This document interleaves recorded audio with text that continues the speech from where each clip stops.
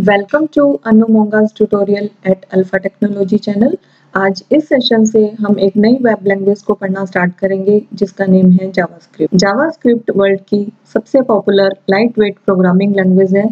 जिसको H web और servers के लिए डेवलप किया गया था। इसको ओरिजिनली नेटस्केप ने डेवलप किया था 1995 में और इसको डेवलप करने वाले साइंटिस्ट का नेम था ब्रेंडन ई। स्टार्टिंग में इसका नेम मोचा रखा गया था, जिसे बाद में बदल के लाइव स्क्रिप्ट और बाद में जावास्क्रिप्ट कर दिया गया। जावास्क्रिप्ट का मेनली वर्क होता है एच पेजेस को इंटरेक्टिव या कम्युनिकेटिव बनाना। इसके थ्रू वेब पेजेस डायनामिक बनते हैं। जैसे कि आप जानते ही होंगे कि वेब पेजेस दो तरह के होते हैं स्टैटिक जिनमें यूज़र इंटरेक्ट नहीं कर सकता और डायनामिक जिसमें यूज़र इंटरेक्ट या कम्युनिकेट कर सकता है। तो इसको हम एच या सीएसएस के साथ यूज़ करते हैं और उसके थ्रू वेब पेजेस को डायनामिक बनाते हैं। तो जावास्क्रिप्ट स्टार्ट करने से पहले आपको एच और सीएसएस की बेसिक नॉलेज होना ज़रूरी है। उसके लिए आप मेरे एच के ट्यूटोरियल्स देख सकते हैं और जो जावास्क्रिप्ट लैंग्वेज है, ये क्लाइंट या यूज़र साइड की तरफ़ से वर्क करती है।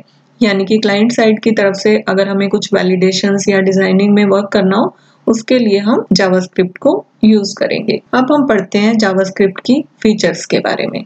सबसे पहली जावास्क्रिप्ट एक स्क्रिप्टिंग लैंग्वेज है। सेकंड इसमें हम बहुत सारे स्टेटमेंट्स की सीक्वेंस लेते हैं, जिनको browser one by one execute करता है। ये काफ़ी इजी लैंग्वेज है। इसको हम आराम से लर्न कर सकते हैं। ये केस सेंसिटिव लैंग्वेज है। केस सेंसिटिव लैंग्वेज वो लैंग्वेज होती है जहाँ पर कैपिटल और स्मॉल लेटर्स अलग अलग समझे जाएँ।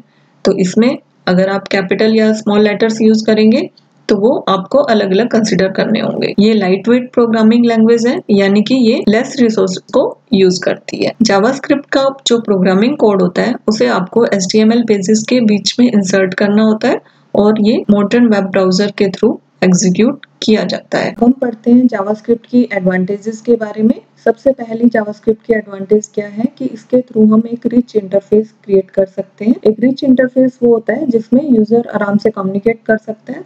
जावास्क्रिप्ट के थ्रू आप ड्रॉप डाउन मेन्यू लीज डायलॉग बॉक्सेस इस तरह की फीचर्स एच पेज पे इनकॉर्पोरेट कर सकते हैं। जावास्क्रिप्ट की जो लैंग्वेज की स्पीड होती है वो काफ़ी फास्ट होती है और इमिडिएटली रन कर जाता है इसका प्रोग्राम इसको लर्न करना और एग्जीक्यूट करना बहुत सिंपल है। इसको आप वेब पे हर जगह यूज़ कर सकते हैं और हम इसे दूसरी लैंग्वेज के साथ इंटरेक्टिवली भी वर्क करा सकते हैं। अब जावास्क्रिप्ट की डिसएडवांटेजेस क्या है? कि जावास्क्रिप्ट क्लाइंट साइड पे वर्क करती है तो कई बार इसका कोड इनसिक्योर हो सकता है। तो अगर वो किसी ने रॉन्ग वे में यूज़ किया तो कई केसेस में इनसिक्योरिटी की फीचर ये देगा। दूसरा, कि जो अलग अलग ब्राउज़र हैं, इसको अलग अलग इंटरप्रेट करके सेम कोड का अलग अलग एग्जीक्यूशन भी शो कर सकते हैं। तो ये जावास्क्रिप्ट की कुछ डिसएडवांटेजेस भी हैं। जावास्क्रिप्ट की लिमिटेशंस क्या है? कि इसके थ्रू हम क्या क्या वर्क नहीं कर सकते?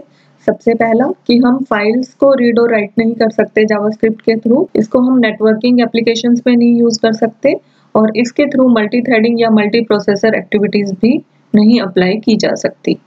और जावास्क्रिप्ट को हम किन किन जगह पे यूज़ कर सकते हैं? इसकी मेन एप्लीकेशंस क्या हैं? सबसे पहले, जहाँ पर भी आपको क्लाइंट साइड पे कोई वैलिडेशन देनी हो, उसके लिए हम जावास्क्रिप्ट को यूज़ करेंगे। अगर हमें एस पेजेस पे डायनामिक ड्रॉप डाउन मेन्यूज बनाने हैं, उसके लिए हम जावास्क्रिप्ट यूज़ कर सकते हैं। डेट एंड टाइम को डिस्प्ले करना है और उसमें कुछ कैलकुलेशन करनी है, तब हम जावास्क्रिप्ट को यूज़ करेंगे। अगर हमें पॉपअप विंडोज़ डायलॉग बॉक्सेस जैसे कि alert box confirm box prompt box ये सब क्रिएट करना है उस केस में भी हम एस के साथ जावास्क्रिप्ट को यूज़ करेंगे। जावास्क्रिप्ट को यूज़ करने के लिए आपको सिर्फ़ दो ही टूल्स की ज़रूरत है अपने सिस्टम में। एक तो नोटपैड या फिर कोई भी टेक्स्ट एडिटर और दूसरा वेब ब्राउज़र नोटपैड के ऊपर हम उसका कोड लिखेंगे और ब्राउज़र पे वो एग्जीक्यूट करेगा। इसको हम एच के साथ यूज़ करते हैं।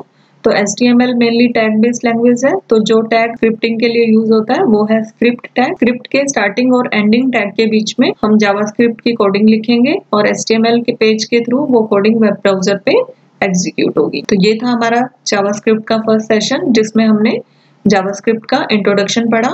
नेक्स्ट सेशन में हम जावास्क्रिप्ट को एच में किस तरह से इनकॉर्पोरेट करके यूज़ कर सकते हैं, उसके बारे में पढ़ेंगे। तो आई होप आपको ये समझ में आया होगा और अगर आपने अभी तक ये चैनल सब्सक्राइब नहीं किया है तो प्लीज़ इसको सब्सक्राइब करिए और बेल आइकन को ज़रूर प्रेस करिए ताकि आपको आने वाली वीडियोस के बारे में पता चलता रहे। Thank you for watching